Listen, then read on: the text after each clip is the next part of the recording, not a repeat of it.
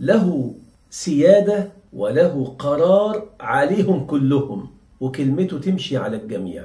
صبري نخنوخ الآن تحت إيده ثروة نقدر نقول كده ثروة مصر كلها تحت إيده. ده صبري نخنوخ قاعد قدام منه رزم رزم كلمة السر والشفرة لكل الأعمال القذرة.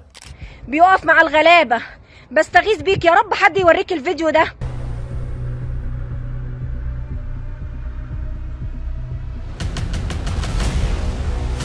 السلام عليكم ورحمة الله وبركاته. الأمم تقاس دائما بمستوى العلم بمستوى الدين والقيم والأخلاق. إذا أردت أن تقيم دولة أو أمة فانظر إلى الوجهاء أو إلى المتصدرين والمتحكمين في خيراتها وفي أموالها. نحن اليوم مع حضراتكم بنتكلم عن مصر. مصر طبعا مما لا شك فيه دولة عظيمة وعريقة في التاريخ ودولة قوية وكبيرة. شاء من شاء وأبى من أبى. مصر دولة عظيمة جدا بشعبها بحب شعبها لربهم سبحانه وتعالى. دولة مسلمة بتمثل قلب العالم الإسلامي.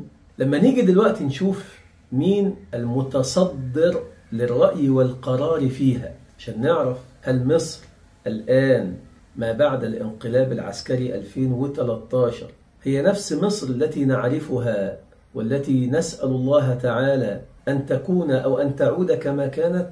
مين المتصدر للقرار فيها الآن؟ إحنا النهاردة بنتكلم عن واحد يمثل المنظومة الحاكمة السيادية في مصر. بس الواحد ده لا هو رتبة عسكرية ولا هو رتبة بوليسية شرطية ولا هو حتى رجل سياسي متحدث ولا هو شيخ داعية من شيوخ السلطان ولا هو حتى وزير لكنه أعلى من هؤلاء جميعا. له سيادة وله قرار عليهم كلهم وكلمته تمشي على الجميع.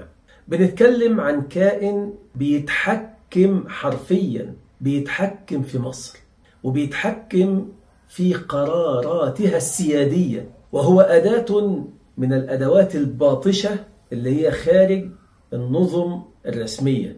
إنه صبري نخنوخ. مين صبري نخنوخ؟ وإيه قصته؟ وهل يا ترى هو مستاهل المقدمة دي كلها؟ وهل يا ترى الموضوع مستاهل إن إحنا نعمل عنه فيديو؟ طبعا الإجابة على الأسئلة دي كلها أنتوا نفسكم اللي هتجاوبوا عليها لما تتابعوا معايا هذا الفيديو إلى النهاية. صبري نخنوخ الآن تحت إيده ثروة نقدر نقول كده ثروة مصر كلها تحت إيده. ولا أبالغ والله بصدق لأنه أداة باطشة من أدوات النظام العسكري في مصر. في الوقت اللي الشعب المصري الحر الأبي مش لاقي اللضى الناس بتشتكي من ارتفاع الأسعار والمرتبات التي تكاد تكون معدومة ما بتكفيش إلا خمس أيام ولا عشر أيام بالعافية. ويبقى المواطن المصري محتاج يشتغل وظيفة واثنين وثلاثة والناس مش لاقية. في ذات الوقت اللي صبري نخنوخ بيسهر كل يوم في الكباريهات وبيرمي على الراقصين والراقصات أموال بلا حسيب ولا رقيب أموال بالعزم زي ما هنشوف كده. ده صبري نخنوخ قاعد قدام منه رزم رزم. الناس بتقول في التعليقات إنه حاطط قدام منه البنك المركزي يعني ثروة مصر كلها. وواضح طبعا من الفيديو إن هو كباريه أو سهرة من السهرات يعني دي ليلة من ضمن الليالي اللي بيقضيها كل يوم صبري نخنوخ وبيرمي الفلوس دي على الأرض. المشهد مستفز إلى أبعد درجة. لكن بس أنا بقول لحضراتكم شوفوا إحنا مين اللي بيحكمنا ومين اللي بيتحكم في الخيرات اللي ربنا سبحانه وتعالى وهبنا إياها. إنهم هؤلاء السفهاء. فمن هو اذا صبري نخنوخ؟ هو صبري حلمي حنا نخنوخ. واخد لي بال سعادتك؟ يعني مسيحي. يعني فاكرين لما كنا بنتكلم عن تحكم وسيطرة. الكنيسة المصرية على صنع القرار في مصر بل وعلى الخيرات وعلى أوقاف المسلمين. ده الموضوع مش بس كده ده كمان صبري نخنوخ ورجالته مسيطرين على الدولة العميقة كلها. صبري حلمي حنا نخنوخ مواليد 1963 اتولد في بولاق أبوه كان تاجر خردة في السبتية. كبر صبري اشتغل مع أخواته سامي وسعيد. في الخردة لكن موضوع الخردة ده ما كانش جايب همه. بدأ يشتغل صبري في تجارة السلاح. شوية شوية كان عندهم بيت في بولاق خمس أدوار. خدوا صبري وبقى بيدرب فيه البلطجية على السلاح. شوية شوية بقى صبري نخنوخ ورجالته وسلاحه. بيشتغلوا بودي جارد أو الحراسة الخاصة للراقصات في شارع الهرم ولبعض الكومبارس والمغنيين وكذا. وبقوا بيستخدموا في الأعمال القذرة. أي حد عايز يعمل أي حاجة كده بيجيب صبري نخنوخ ورجالته. شوية شوية بقى له صيت وكبر لحد ما وصل لمين؟ وزير الداخلية وقتها حبيب العدلي حبيب العدلي كان عايز هو كمان بيحب يعمل الأعمال القذرة بس من غير ما يلوث إيديه. عايز يعملها كده وهو إيده نظيفة. فكان يجيب بقى البلطجية دول. فجاب صبري نخنوخ وكان في انتخابات وقتها وكان في لواء اسمه بدر القاضي.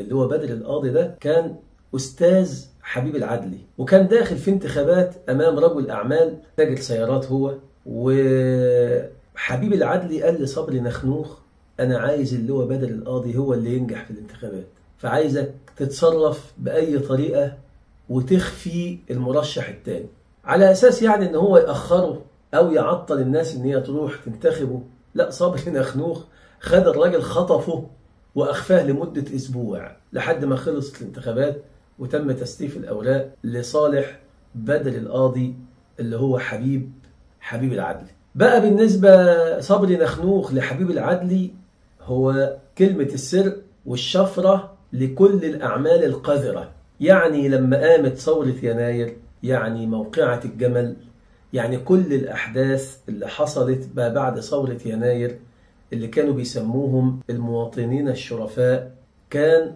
بيتزعمهم جميعا صبري نخنوخ بحماية حبيب العدل. لما نجحت ثورة يناير الشرطة المصرية بدأت تسترد قوتها وعافيتها مرة أخرى. فتم إلقاء القبض على صبري نخنوخ وعنده بقى إيه؟ ما لا يعد ولا يحصى من السلاح والذخيرة والمخدرات. المهم أنه اتحكم عليه بالمؤبد. الكلام ده فين؟ في 2012 واللي كان شاهد عليه إن هو كان بيتزعم أحداث موقعة الجمل كان الدكتور محمد البلتاجي. فك الله أسره. ووقف الدكتور البلتاجي شاهد على صبري نخنوخ في المحكمة إن هو كان بيتزعم البلطجية بتوع موقعة الجمل وقتلوا الثوار في موقعة الجمل. اتحكم على صبري نخنوخ بالمؤبد والمؤبد ده يعني 25 سنة. صبري نخنوخ ما قضاش من المدة دي إلا سنتين بس لأنه بعد الانقلاب العسكري وأول قرار في أول عفو رئاسي أصدره السيسي كان قرار مخصوص لصبري نخنوخ إنه يطلع من السجن. وبالفعل طلع صبري نخنوخ من السجن معزز مكرم مكرم من الجيش يعني ومعزز من السيسي. ومش يرجع بقى لمكانه تاني بلطجي في شارع الهرم لا ده رجع وبقى رئيس مجلس إدارة أكبر شركة حراسات خاصة في مصر. يعني بقى السلاح معاه برخصة يعني محدش يقدر يقول له كلمة. وبقى مشغل عنده في الشركة دي لواءات وظباط كمان. ده مين؟ ده صبري نخنوخ اللي هو أصبح دلوقتي بيتحكم في القرار في مصر وبتليفون واحد يكلم أتخن وزير طبعا ما فيش أتخن من صبري يعني واصلا تخين كمان يكلم أتخن وزير لدرجة إن المواطنين والناس بقوا بيستغيثوا بصبري نخنوخ عشان يحل لهم مشاكلهم زي ما هنشوف كده. بيقف مع الغلابة. بستغيث بيك يا رب حد يوريك الفيديو ده وتشوف أنا جرالي إيه. يا رب يا معلم صبري تشوف الفيديو ده. ويكون ربنا يجعلك ليا سند. أنا أعرف إن أنت نصير الغلابة. ربنا يجعلك ليا سند. وتشوف الفيديو. دي واحدة بتستغيث بصبري نخنوخ عشان يجيب لها حقها. مواطنة مصرية بدل ما تستغيث وتروح تمشي في الإجراءات القانونية عشان تنتزع أو تاخد حقها كمواطنة ده بتنادي صبري نخنوخ. واضح إن الموضوع بقى خلاص عادي جدا يعني. تعالوا نشوف واحد تاني. صبري نخنوخ. أرجو إنك تعرفني أتصل بيك إزاي أو تليفونك كام؟